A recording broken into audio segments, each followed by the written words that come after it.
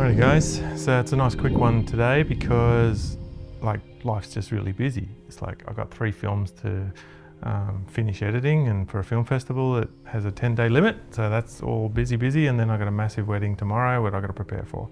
So yeah it's been pretty crazy. But today it's all about uh, organizing the folders and your bins to keep you on track and editing quickly. So there's two little tips that I'm going to show you. Uh, keeps my life super, super organized because I love my folder structure when I transfer all my data into my uh, computer. I want that structure that mirrored in my project. So yeah, this is a quick and easy way how to do it. All right, let's go.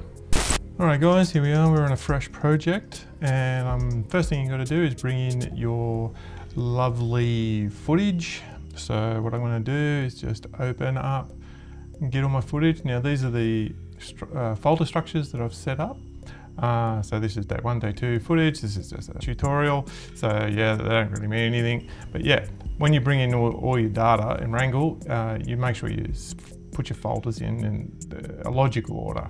So yeah, so if you drag them in and put them directly into this section, you can see it literally discards all your folder. It just puts all the footage and all the um, uh, data that you have all into one folder.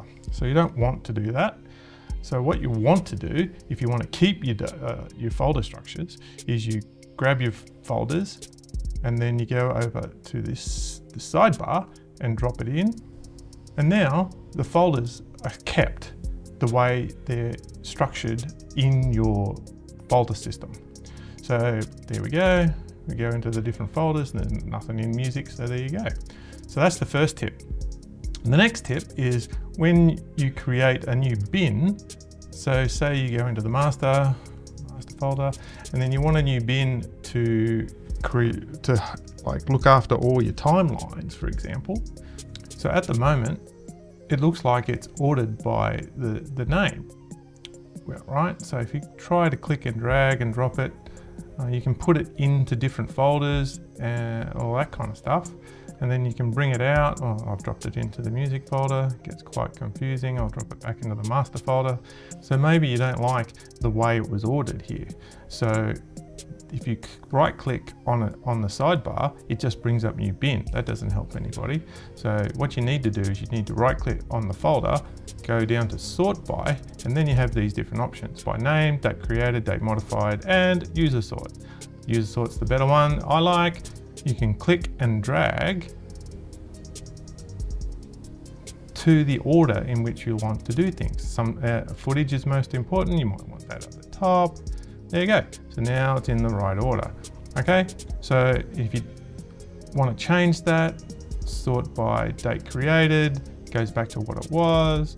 If you go back to sort by user sort, it goes the last thing you um, it ordered it in. Okay, so yeah, told you it was a quick little thing today. So keeping yourself organized will make editing so much quicker when you get to bigger projects, it is invaluable. It will, it changes the way you work. And that's the way you need to think about it. So yeah, anyway, uh, yeah, that's all I got. Things to do. So yeah, I'll talk to you soon. Bye.